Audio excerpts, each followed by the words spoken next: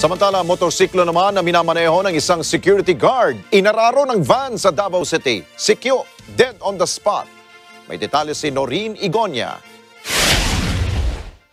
Dead on the spot ang isang pasahero ng motor matapos araruhin ang sinakyan nito ng isang van sa kahabaan ng Diversion Road, Maa, Davao City. Kinilala ang biktima na si Jesse Gambong, isang security guard na residente sa buhangin sa nabanggit na lunsod. Ayon sa investigasyon, inararo ng isang van ng isang kotse na minamaneho naman ng isang Anthony Canale na dinamay pa ang isang motorsiklo na minamaneho naman ni Michael John Laporca. Nakaangkas noon sa kanya si Gambong patungo sa pinagtatrabahuan nila.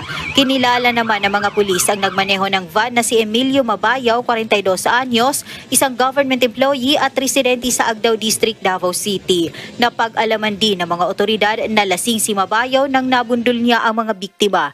Nasa kustodiya na ng Maa Police Station ang suspect na haharap sa kasong reckless imprudence resulting to homicide and damage to properties. Mu- Mula dito sa Davao City, ako si Noreen Igonia para sa Mata ng Agila, matatag, matapag, matapat.